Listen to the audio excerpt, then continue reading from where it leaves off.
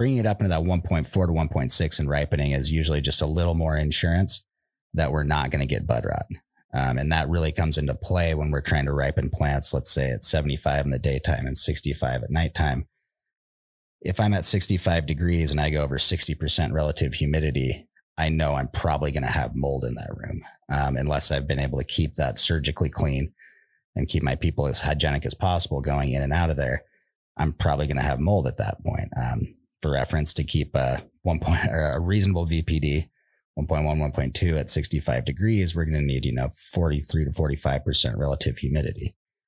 Now, if you can't do that, that's kind of where we start to look at running into mold. So really we our VPD is all about optimizing what's right around the leaf surface and making sure we're taking advantage of every hour that the lights are on to have the plant transpire transpire